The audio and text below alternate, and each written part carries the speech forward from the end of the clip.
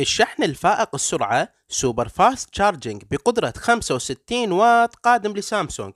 وهل هذا الشيء بالفعل مؤذي للهواتف أو لا؟ خلونا نكشف كل التفاصيل بفيديو تقرير اليوم. وبداية ولكل شخص يتابعني أتمنى منكم دعمنا بالاشتراك بالقناة بالضغط على كلمة اشتراك أو subscribe بالأسفل وتفعيل جرس التنبيهات حتى تبقون بتواصل دائم مع كل جديد نقدمه أولا بأول. أهلا بكم بفيديو اليوم.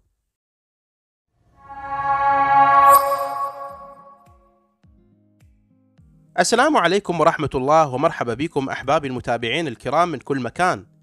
إذا القدرة على شحن الهواتف الذكية بصورة سريعة واحد من أهم المميزات الحالية اللي خلتها الشركات المصنعة للهواتف بهواتفها. وهذه الميزة صارت ميزة شائعة جدا ويا المستخدمين وكذلك مرغوبة بشدة. وهذا الشيء يخليك ترفع قدرة البطارية لجهازك بسرعة كبيرة ومع اختصار للوقت بكل تأكيد مقارنة مع الأولد فاشن أو الطريقة التقليدية الكلاسيك بشحن الهواتف واللي تحتاج إلى وقت أطول لإتمام عملية الشحن. وحتى تستعمل هذه الميزة ميزة الشحن السريع كل اللي تحتاجه أن تكون هذه الميزة متوفرة بالهاتف وبالشاحن حتى تقدر تستفاد من هذا الشيء وتخلي بطاريته مليئة بالطاقة بسرعة كبيرة. خصوصا إذا كان عندنا كثير من الأشغال والأعمال وما نملك وقت طويل للشحن. والآن بالنسبة لميزة الشحن السريع فهذا الشيء مختلف من شركة إلى شركة أخرى بصورة مؤكدة. وكذلك قوة وقدرة الشحن والسرعة أيضا كلها أمور تختلف باختلاف الشركات اللي تقدم هذه الخدمة. وبالحديث بصورة محددة عن شركة سامسونج فهذه الأخيرة تقدم شاحن وشحن بقدرة 25 واط بدأت بتقديمه طبعا مع ال S 10 وزيدت هذا الشيء مع ال Note 10 Plus اللي اجى مع قدرة شحن سريع توصل لل 45 واط. وهذا اللي يقدم شحن كامل للهاتف بأقل من ساعة يعني من صفر إلى 100% تقريبا. والآن إذا كنت تعتقد أنه هذا الرقم ال 45 واط للشحن كبير فأنت مخطئ تماما.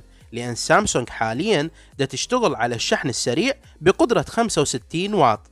ال Galaxy Club وضمن بحثه المستمر عن كل الأمور والمزايا الجديدة بالهواتف توصل إلى شهادة أو certificate من سامسونج خاصة بالشحن أو الشحن السريع. وكانت الشهادة تحمل الرقم EPTA865 شحن سامسونج السريع بقدرة ال 45 واط كان يحمل رقم الشهادة أو السيرتيفيكت التالي اللي هو EPTA845 واللي يعني الرقم الأخير أو الرقمين الأخيرة ال 45 هو ال 45 واط. ولذلك ومثل ما تشوفون الرقم للشهادة متطابق ما عدا ال 45 تم استبدالها الآن بال 65 ولذلك فالجالكسي كلاب متأكد تقريبا إنه هذا الشيء متعلق بالشحن السريع. وممكن الآن تتساءلون إذا كنا حنشوف هذا الشيء والميزة الجديدة بالشحن السريع على الجالكسي S21 Ultra. الحقيقة ما يوجد تأكيد أو نفي من أي مصدر حاليا طبعا لكن ممكن ما راح نشوف هذه السرعة بالشحن على ال S21 Ultra. وممكن السبب إنه النوت 20 Ultra اجى بقدرة شحن سريع توصل ل 25 واط واللي هو downgrade عن ال Note 10 Plus اللي كان يدعم سرعة شحن ال 45 واط. وهذا معناه إنه إلى الآن شركة سامسونج ما تقدم ميزة الشحن السريع ال 45 واط بصورة كاملة أو واسعة أو معتمدة بهواتفها. ولذلك فما أعتقد راح يقفزون هذه الأرقام ومباشرة يقدمون اعتماد كامل على الشحن السريع بقدرة ال 65 واط الخارق على هاتف ال S21 Ultra ولكن مع ذلك ما راح نفقد الأمل بصورة كاملة. دائما expect the unexpected أو توقع الغير متوقع. كل شيء جائز مع شركات الهواتف وخصوصا شركة سامسونج اللي عودتنا على أن تظهر لنا المفاجآت. والآن ممكن بعض المتابعين حيعلقون إنه ماكو حاجة للشحن بقدرة ال 65 واط وشحن بقدرة ال 45 واط السريع يكون كافي وسريع. والحقيقة شحن سريع بال 45 واط هو جيد جدا لكن مو سريع بما يكفي. خصوصا وإحنا بخضم هذه التكنولوجيا الحديثة اللي نعيشها والانشغال الدائم للمستخدمين. فحاليا قدرة الشحن السريع ال 25 واط شحن من 0 إلى 50% خلال 30 دقيقة. أما إذا استعملنا الشحن السريع بقدرة ال 65 واط راح نتمكن من شحن الهواتف من 0 إلى 50% خلال 15 دقيقة فقط تقريبا أو أقل. وهذا شيء أكثر من رائع وجدا عملي ويوفر كثير من الوقت. وأعرف الآن ممكن البعض يتساءل إنه الشحن السريع بقدرة ال 65 واط ممكن يكون مؤذي للبطارية بصورة عامة وبشكل أسرع من بقية الشواحن. الحقيقة ما أعتقد هذا الشيء صحيح ابدا. والكثير من المستخدمين ممكن ما يكون مفهوم وياهم فكرة الشحن السريع بصورة صحيحة وشنو هي أسباب هلاك البطارية للهواتف هل حقا أنه الشحن السريع بهذه القدرات هو اللي دا يأذي البطارية بداية لازم تعرفون إنه أي حرارة وطاقة إضافية للبطاريات ما راح توصل ابدا من الشاحن لأن أساسا موجود نظام متكامل بداخل رأس الشاحن واللي يحبس الطاقة والحرارة بداخل الشاحن فقط وهذا معناه إنه الحرارة حتختفي وما راح توصل للهاتف أصلا. أما الأمر الآخر وإذا كنتم مهتمين بسلامة وطول عمر البطارية لهواتفكم فالأفضل إنه ما تشحنون الهواتف إلى 100% بصورة دائمة. لأن هذا الشيء بالتحديد يخلي البطارية under stress يعني تحت الإجهاد. لأن ال lithium ion battery يملك عدد معين من دورات الشحن الخاصة بحياة البطارية وكل دورة تحتسب ابتداء من الشحن ووصوله إلى 100% فتحتسب دورة وكذلك وصول الشحن إلى الزيرو أو الصفر أيضا تحسب دورة.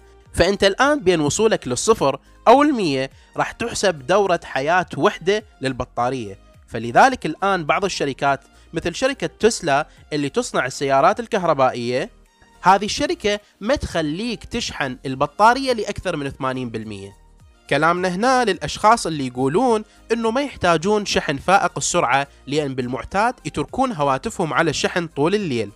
هذا الشيء هو السبب الرئيسي الأكبر لنهاية عمر البطارية ودمارها التدريجي لأنك توصل البطارية للمية بالمية كل ليلة ويوم. فأي شخص يحب يحتفظ بطول عمر البطارية الهاتفة لازم يتجنب هذه الشغلتين إنه ما يخلي البطارية توصل لل zero ولا يخليها توصل للمية. دائما حاولوا تخلون level معين يعني مثلا بين العشرين بالمية إلى الثمانين بالمية أو الخمسة وثمانين بالمية أو حتى التسعين بالمية. خليكم دائما بين هذا ال range.